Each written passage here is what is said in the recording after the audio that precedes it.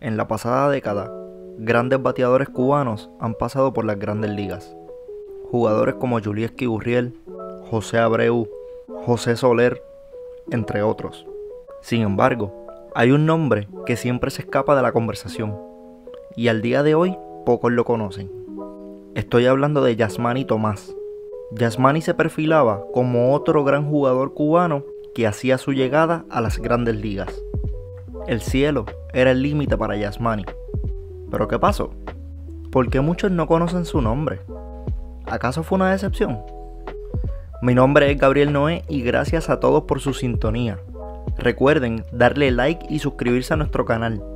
De igual manera, nos pueden seguir en las redes sociales que se encuentran en la descripción de este video. Estamos publicando videos todas las semanas. También comenta desde qué país nos estás viendo y nosotros le enviaremos un saludo. Y es tiempo de comenzar con el video. Yamani Tomás debutó en la Serie Nacional de Cuba en el 2008, con apenas 17 años. Debutó con los industriales de La Habana y poco a poco se ganó su espacio en el equipo. Se convirtió en un bateador completo y su nombre empezó a sonar. Tomás participó en la tercera edición del Clásico Mundial representando a Cuba. Esa edición del equipo cubano ha sido una de las mejores alineaciones en la historia de Cuba. Siete peloteros de ese equipo posteriormente firmaron un acuerdo en las grandes ligas. José Abreu, Juliski Gurriel, Alexi Bell y leyendas como Alfredo Despaine y Frederick Cepeda eran parte de esa alineación. Yamani dejó muy buena demostración en el clásico y enamoró a varios equipos de grandes ligas. En el 2014 decide salir de Cuba y probar su suerte en el béisbol de Estados Unidos. Los Arizona Diamondbacks firman a Yamani por 6 años y 68 millones de dólares. Los Diamondbacks veían en Tomás un bateador de poder que podía jugar múltiples posiciones. Arizona tenía su outfield lleno y decidieron experimentar con Tomás en tercera base. Tomás había jugado varios partidos en tercera base en el 2008, pero nadie lo perfilaba como un jugador de cuadro interior, excepto Arizona. Yamani no lució muy bien defensivamente en la tercera base, pero su bate lo ayudó a ganarse un espacio en el día inaugural. Debutó en las mayores en el año 2015 y batió para un promedio de 2.73, 9 cuadrangulares y 48 carreras empujadas. No lució nada mal, sin embargo se esperaba un poquito más. Así que el segundo año, en 2016, Yamani llegó enfocado y batió para un promedio de 400 en los campos primaverales. Conectó 31 cuadrangulares y 83 carreras empujadas en la temporada regular. Todo parecía bien para Yasmani, sin embargo en el 2017 se vio limitado a 47 juegos debido a una lesión. Sin embargo, había un problema en su juego, su defensa. Tomás no había demostrado que podía ayudar a su equipo en el lado defensivo y su bateo no acaparaba su debilidad en la defensa. Sus números defensivos eran muy bajos y siendo Arizona un equipo de la Liga Nacional, se veía obligado a ponerlo a defender. Arizona optó por enviarlo a AAA para trabajar con su defensa e incluso practicar la primera base. Yamani jugó todo el año en la AAA y tuvo una temporada decente. En el 2019 llegó decidido a ganarse un espacio en el equipo grande y batió para un promedio de 448 en los campos primaverales.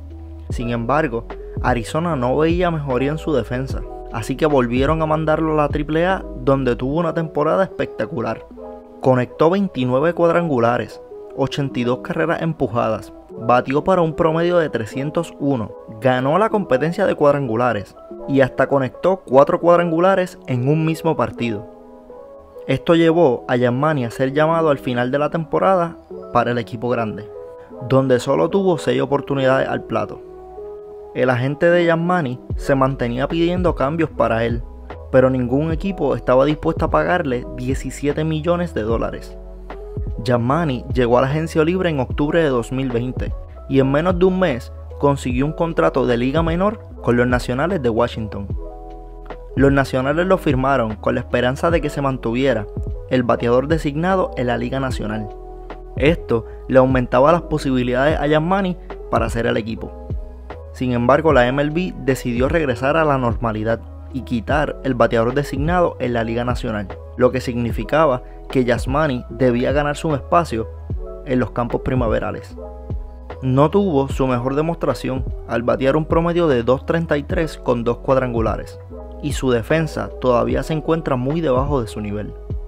Los nacionales anunciaron que Yasmani fue dejado en libertad y al momento de grabar este video se encuentra sin contrato. La carrera de Yasmani ha sido muy extraña, pues su talento nunca ha estado en duda, pero una mezcla de múltiples factores lo ha limitado a no ser un jugador establecido en esta liga. El hecho de que su defensa sea por debajo del nivel es una, junto a que los Diamondbacks juegan en la Liga Nacional, y que de igual manera no podía ser cambiado por su gran contrato. Esto le costó sus mejores años en la Liga Menor. Y al día de hoy, Yasmani tiene 30 años y le queda mucho béisbol. Considero que un equipo de la Liga Americana podría utilizar un bate como él, y considero que debe recibir algunas llamadas de Japón. Es extraño, porque Yasmani tenía el talento para ser recordado como un gran jugador cubano que llegó a las grandes ligas. Sin embargo, será recordado como uno de los peores contratos en la historia de los Diamondbacks. Espero pueda conseguir un contrato y no me sorprendería si firmara en la Liga de Japón y se convierte en una estrella en ese béisbol. Eso lo hemos visto antes en otros jugadores. Gracias a todos por su sintonía, recuerde darle like y suscribirte a nuestro canal de YouTube. Nos puede seguir en las redes sociales que se encuentran en la descripción de este video. Estamos publicando videos todas las semanas. Y comente desde qué país nos están viendo y nosotros le enviaremos un saludo. Gracias a todos por su sintonía y recuerden que el deporte merece un espacio en la vida de todos. Nos vemos en la próxima.